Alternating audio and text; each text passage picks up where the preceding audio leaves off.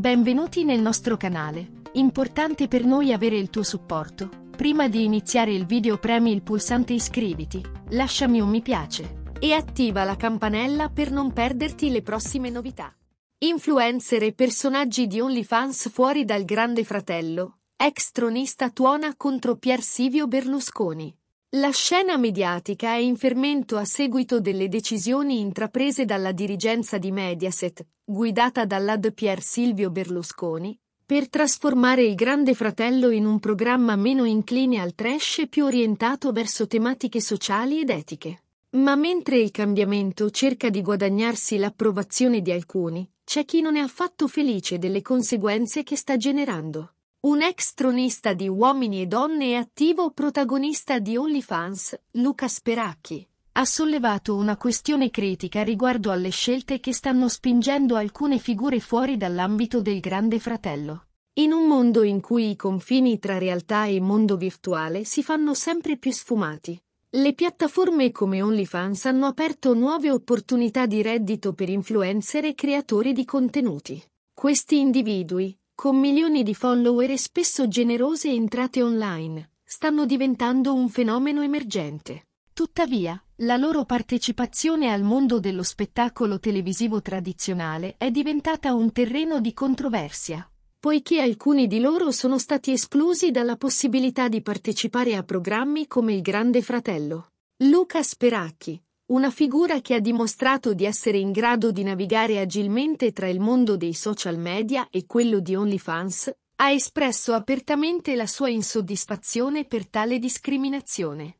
L'ex tronista, che ha fatto il suo ingresso nell'arena dello spettacolo come attore di Uomini e Donne, oggi ha ampliato la sua portata diventando un influencer e attore per adulti su OnlyFans. Peracchi ha sollevato una questione chiave, è giusto vietare a coloro che lavorano su piattaforme come OnlyFans di partecipare a programmi televisivi tradizionali? In un contesto in cui il mondo dello spettacolo sta attraversando una fase di profonda riforma. La selezione delle figure da inserire in determinati programmi sta diventando sempre più un tema delicato, mentre il Grande Fratello cerca di abbracciare nuove tematiche e punti di vista.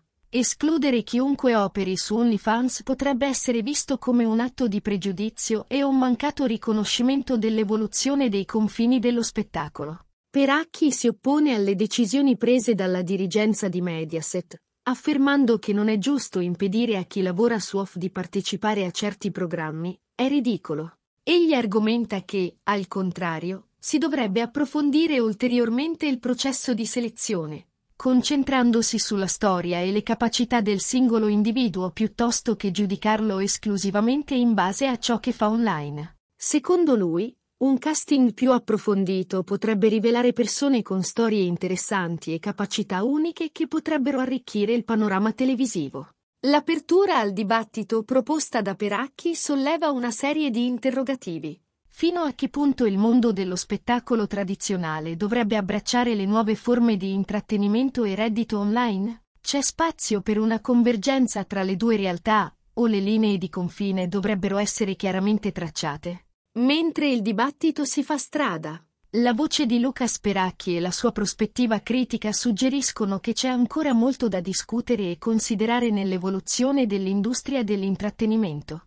Ti è piaciuto il video? Iscriviti al canale, metti un like e attiva la campanella.